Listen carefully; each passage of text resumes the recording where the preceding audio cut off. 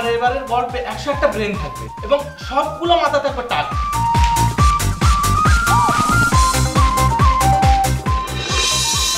এগারোটা প্লেয়ার দশটা পোলা, একটা মায়া সব ব্যাল সে স্ট্রাইকার রোনালদো। মাঝখান থেকে কিক করে সব গোল হয়ে যায়। Super hit